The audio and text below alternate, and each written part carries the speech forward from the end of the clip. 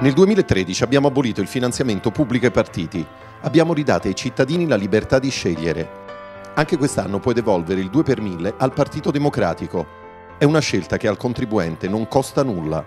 In sede di dichiarazione dei redditi inserisci il codice M20 e la tua firma nello spazio dedicato.